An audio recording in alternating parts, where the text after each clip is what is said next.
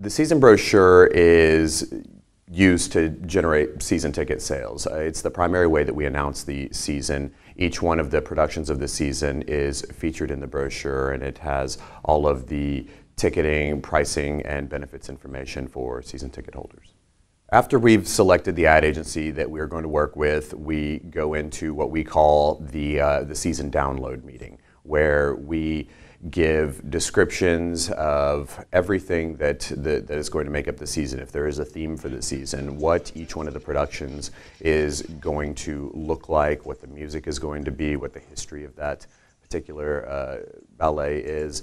And it's really sort of a, a, a, brain dump for us that we're getting all of this information into the creative team and then um, give them the opportunity to ask uh, any questions that they may have on each particular production or um, what we are sort of looking for, what we're thinking about that season.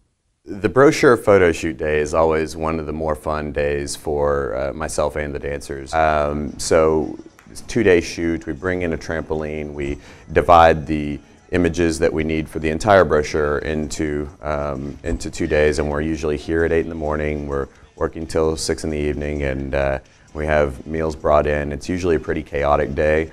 Um, where we have a, a, set schedule. We can't run behind by even you know 10 or 15 minutes. We have hair and makeup people here. We have usually a crew of between five and 10 people um, supervising and, and, and, setting up all of the, the shots and, uh, and it's a lot of fun for the dancers too.